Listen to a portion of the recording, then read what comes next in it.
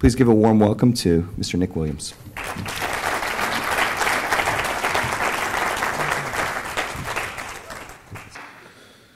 So I, uh, I have a technical background, and I've always been good at uh, math and physics. So in fact, until recently, I was pretty sure you could describe every situation in fine detail using science.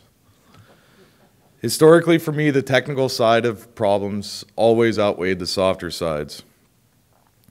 Uh, I know I'm not alone when I say I think this way. I work at an underground coal mine. You're going to be pretty hard pressed to find a more old school, coal dust breathing, we're the tough guys mentality than you're going to find in an underground coal mine. so, CIM's leading in mining program. I found out through this program that I operate out of what you would call the achiever action logic. So I won't get into the details, but basically it means that uh, the way I think and perform is dictated by my desire to achieve results.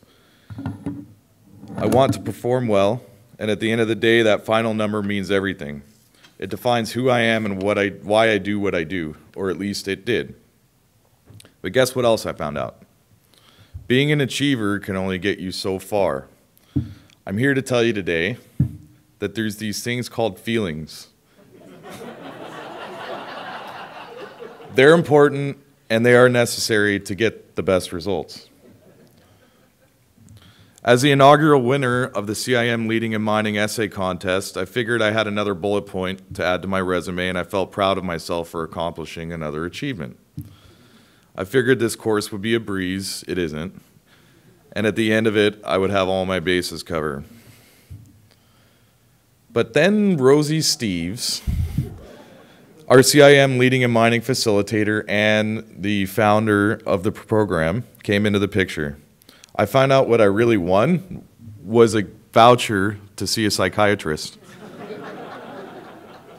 In fact, after our first workshop, I told my wife, I'm pretty sure I got duped into seeing a shrink. so, to all the engineers and the technical people in the room, there are these things called feelings. And whether you want to admit it or not, you have them. Lots and lots of them. And you have to be aware of them. I used to say to people that I have two feelings anger and indifference. I was a bit blindsided when I found out there was more to it than that. Okay, enough about feelings. Lames catch feelings. Feelings aren't, nor aren't normally something that those of us in the mining industry want to invest our time and money into. What about the bottom line? That's what really matters. Here's the thing there's overwhelming evidence out there that suggests profit is directly related to great leadership, which comes from recognizing feelings. I went from your typical engineer to a true believer in the necessity to develop things like emotional intelligence and self awareness. I know you're sitting back and you're nodding your heads in agreement. Yes, yes, we need our people to be better leaders, yes.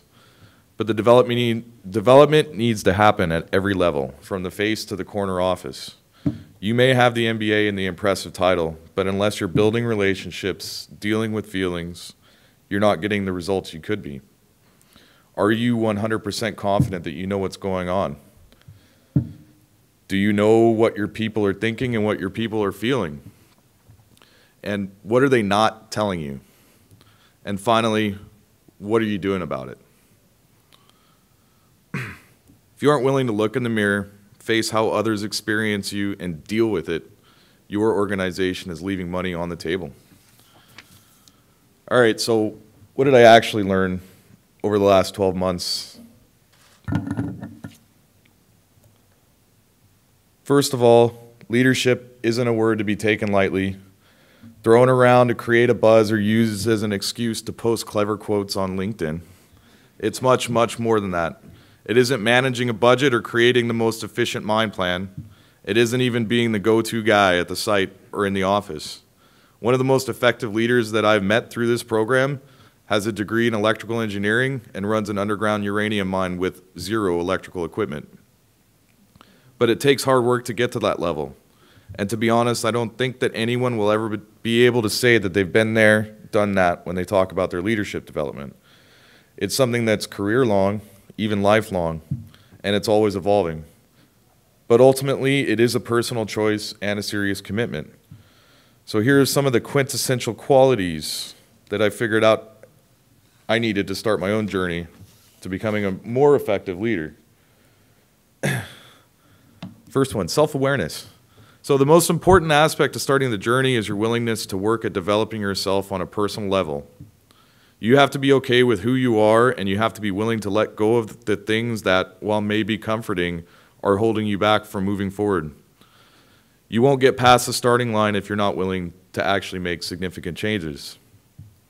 That said, I want to emphasize that authenticity is equally as important. I know it may seem a bit paradoxical, but I learned that you can adjust yourself and let go of the things that aren't helping without losing who you actually are. Being authentic means that you're comfortable in your own skin and you don't waver on the things that are really important to you. I found out that I can adapt my style to build rapport with different types of people without letting go of my authentic self.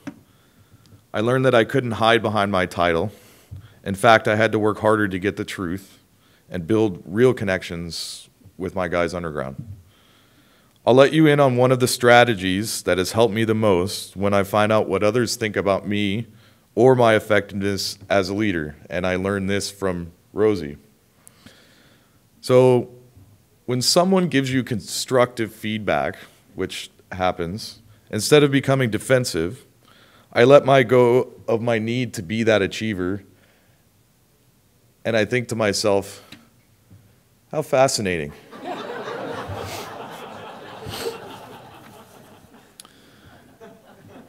It, really helps. It helps get rid of that knee jerk reaction to put your defenses up. And that provides you with the opportunity to develop real, no bullshit relationships with the people you work with.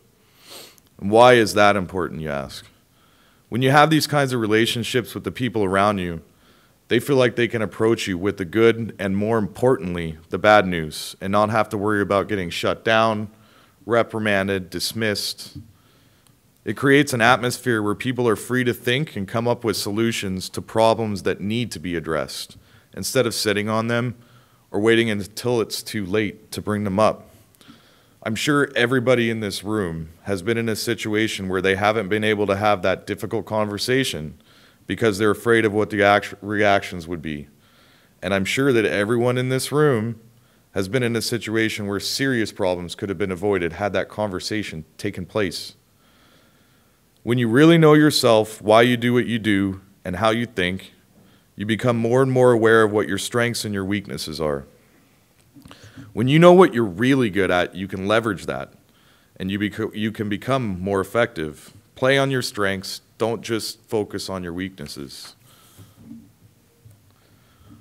Another key to the journey is understanding and accepting the fact that every person you meet is different and probably sees even normal everyday situations in a different light than you do. Diversity, right? This isn't something you should just accept, you should embrace it. People with different backgrounds or points of view will probably see different things in the same challenges. And as a result, will probably come up with different ways of dealing with them. What you need to learn, and believe me, it isn't easy, I haven't figured it out, is how to leverage that diversity to create outstanding results that would have otherwise been mediocre. Learn where other people are coming from, what their motivations are, and what agendas they may have. Don't take everything personally and realize that through effective leadership, you can create something great out of something that may at first seem like complete chaos. Don't get upset with the way people think about things. Instead, stand back and say, How fascinating, and find a way to use it to achieve the end goal. so, leadership comes from all directions. I'm sorry to tell you this, folks. But leadership doesn't just come from the directors, managers, or supervisors. In really great organizations, leadership is everywhere. I found out through this program that leading my boss and my beer and my peers and my beers and my peers is just as important as leading my reports. You can lead up, down, sideways, and you can be led by the CEO right down to the summer student. It's something that's really crucial to the overall success of an operation. Leadership has to come from where it's most effective. I'm not going to come up with better solutions to all the little problems than the guys are underground. Where I come in is facilitating an open environment and giving people the courage and the confidence that they need to come forward with those ideas. Again, this goes back to the being self aware and promoting those crucial no bullshit relationships. so, what is leadership? At the end of the day, in my opinion, the job of a leader is to create and build up even more great leaders. Think about that for a second, really. Think about how much more effective your operation would be if everyone was firing on all cylinders and great ideas were coming out of the woodworks from everybody all the time. Think about how much more efficient that boring weekly meeting, and I know we all have the boring weekly meeting, how, think about how much more efficient that would be if everyone was on the same page working to the same end. Think about the inefficiencies that you see around you every day and think about turning them into profit. It sounds like a pretty good day. so, is this program worth it? In a word, yeah, it is. The operation I work at is one of the smallest in the country, but even a small operation like mine costs a lot of money to keep running. When you think about the money and time that gets thrown away because of poor leadership, the price for CIM's leading in mining program is kind of like a drop in the bucket. if someone at site is really angry, you know, at management, believe me, they can find ways to cost you money and undermine productivity. Uh, obviously, lost productivity is lost money. And what about the guy that's doing an okay job who could be doing a really great job? If you can avoid even just a handful of little mistakes like that, this course pays for itself. Use it consistently going forward, and it's a significant investment to your operation and yourself. If I hadn't received the money from the CIM Western branch to join this program, I wouldn't be the person I am today. If my boss knew then what he knows now about the impact it can actually have, I'm willing to bet he would have considered it smart money and he would have found a way to make it happen. And we're coal miners. so, from a personal standpoint, and I know I can say this because my company didn't pay for me to attend this program, even if it didn't help me professionally, it would still be worth every penny. It strengthened my relationship with my wife, Alana, uh, and with the people around me that mattered most to a point that I've never experienced before. It's about asking questions, and it's about asking the hard questions. It's helped me understand where I'm coming from, where they're coming from, and most importantly, now I know that I have more than two feelings. I want to challenge you guys. I want to challenge everyone in this room to make leadership development a personal priority for you and the people you lead. For me and my fellow cohort members, Marjolaine, Kelsey, Angela, Christine, there you are, and of course, Rosie. CIM's Leading in Mining program was fundamentally transformational, and I believe this program is vital to our industry's success. We need to stop leadership training, and we need to start developing ourselves as leaders. If you're wondering what the difference is between training and development, talk to Rosie. Join her for breakfast tomorrow and have a listen. Our industry needs this, especially because of how cyclical we are. I do want to warn you guys, though, that it's not something that you're going to learn at a two day course or a week long workshop in a book or on the internet. It isn't even something that you're going to learn in a year long developmental program like this one. It's lifelong. It really is. But as part of my plug, I will say that a high quality year long program like CIM's Leading in Mining will help you understand that, and it'll help you deal with the fact that leadership development is ongoing. It will help you build relationships with other people in the industry, people who could be working in com a completely different role, but strangely enough, go through the same challenges as you do every day from a leadership standpoint. It will help you learn the skills and continually continue to develop them for the long term, and I truly believe that this industry needs to think longer term than we do. people in, in this room right now are the ones that can make a difference and really transform our industry. Finally, I know that some of the people from the CIM's Western District are here today.